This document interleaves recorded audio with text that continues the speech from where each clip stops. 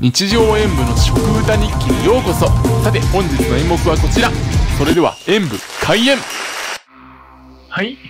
本日はこちら。ファミリーマートので始まったいちご狩りからつぶつぶチョコいちごサンドといちごのチーズテリーヌを食べていきたいと思います。あと食べる牧場いちごミルクもあったんですけどそれって多分前に食べているので今日はこの2つですね。1月15日に合わせたいちご狩り。楽しそうだし美味しそう。あなたはいちごお好きですか？まずはチョコサンドからいただきますね。パキッという音。うん聞こえてたらよかったんですけどちょっとマイクの不調でね。残念ですけど今日は。や っ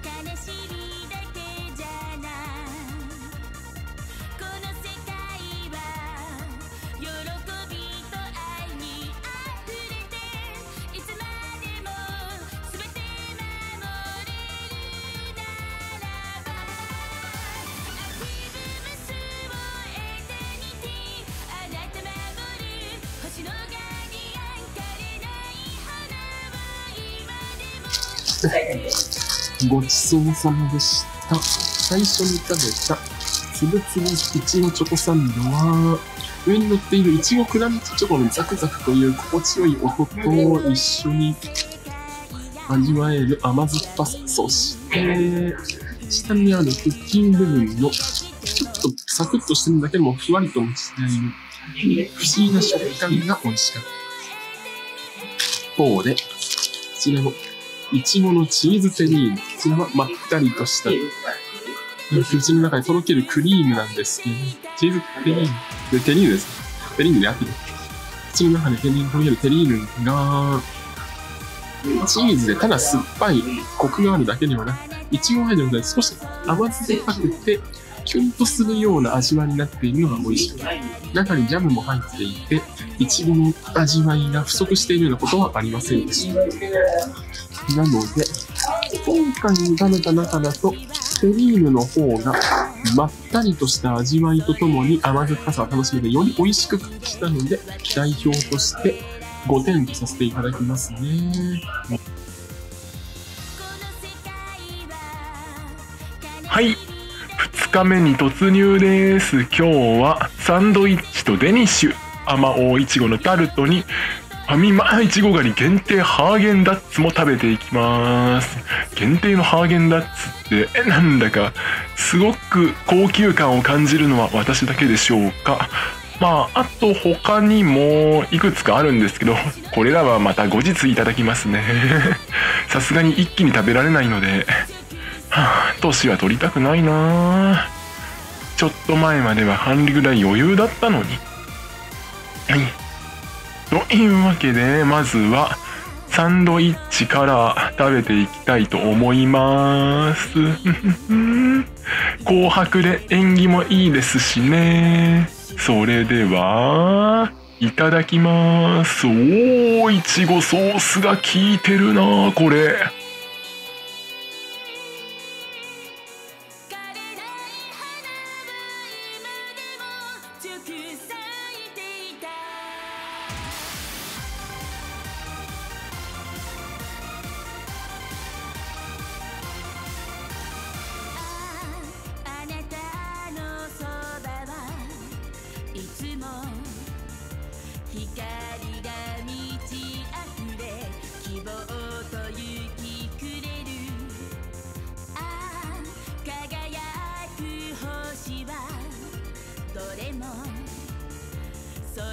それの奇跡で私を照らしてく。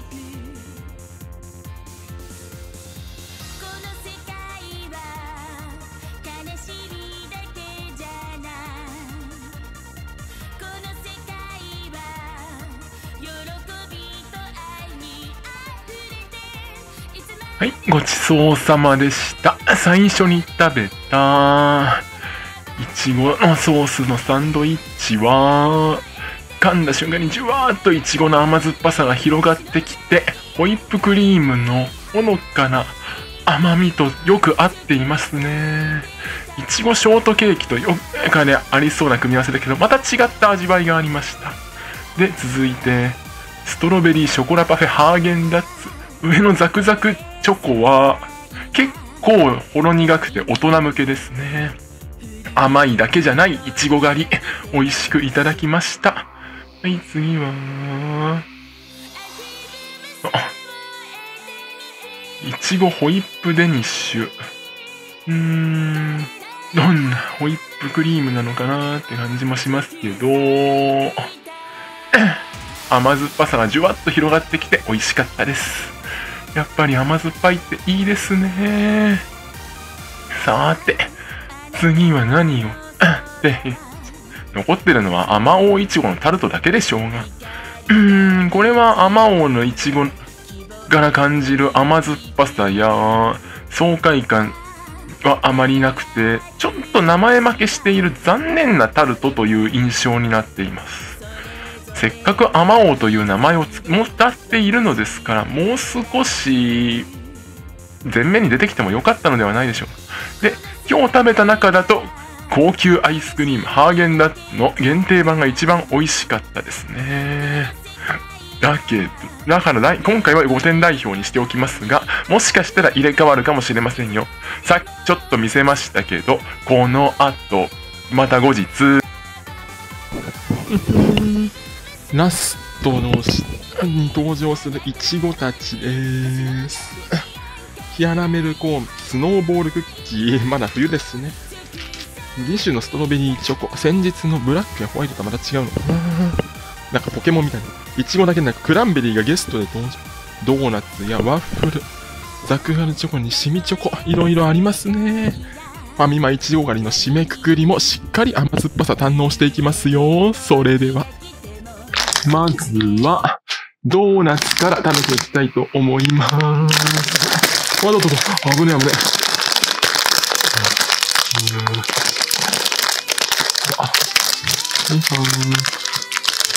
お、甘酸っぱい香りがいいね。生地はオールドファッション系のさっくりドーナツのようですが、実際どうなのかなでは、いただきます。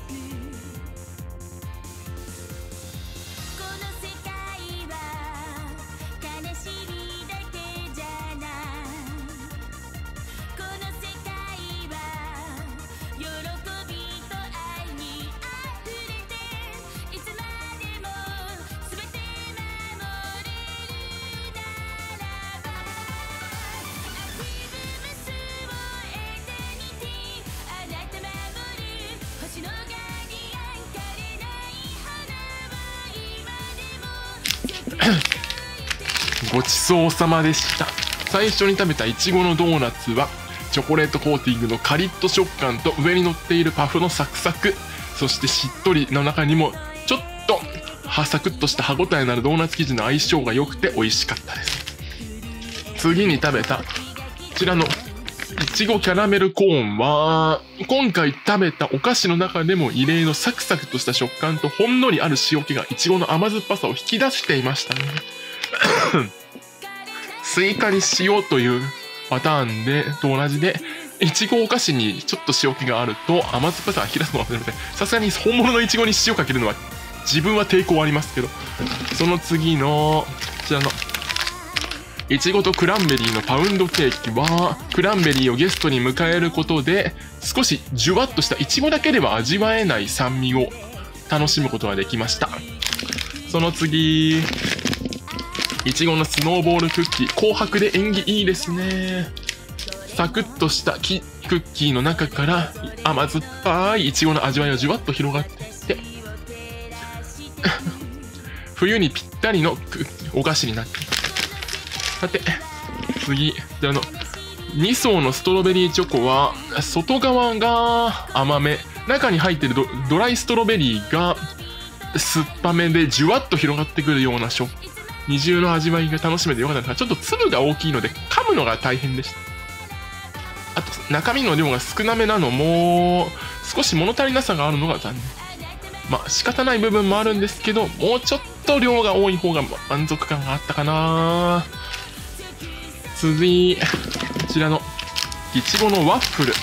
ワッフル生地はしっとり系で、噛んだ瞬間にコリッというチョココーティングの音としっとりとしたワッフルの食感を口の中でふわっと感じることができました。いちごは他と比べるとやや控えめだったかな。次。と、シミチョココーンミニいちご味。シミチョココーンなんでさっきのキャラメルコーンになっちゃって中にもいいちごの甘酸っぱさが溶け込んだチョコがスーッと入っていっています。なので、噛むたびに甘酸っぱさが感じられる反面、塩気が、塩気はあまり感じませんでした。まあ、シミチョココーンに塩気があるかって言われるとちょっとな部分もありますけどね。最後に食べた、こちらのクランチチョコいちご味は、うーん、ちょっとクランチのザクザク食感が物足りなかったかな確かに歯応えもあるんですけど、ザクっていう感じではなかったです。どちらかとしとザク？うん。まあ、クランチなので、もう少し食感や音を感じられた方が自分は好みだったかな。今回食べた中だと、こちらのキャラメルコーンいちご味が、噛んだ瞬間にじゅわっと甘酸っぱさが広がってきて、塩気でそれが引き出されているので、一番いちごを感じられる美味しいお菓子だと思いました。なので代表として5点とさせていただきますね。ファミマのいちご狩り3回に分けて堪能させていただきましたが、あなたは何が一番気になりましたか？教えていただけると嬉しいです。それでは、ご視聴ありがとうございました。コメントしていただけると嬉しいです。演舞、終演。本日の演目はお楽しみいただけましたか？チャンネル登録、コメント、高評価していただけますと嬉しいです。ではまた明日の演目でお会いしましょう。それでは、さようなら。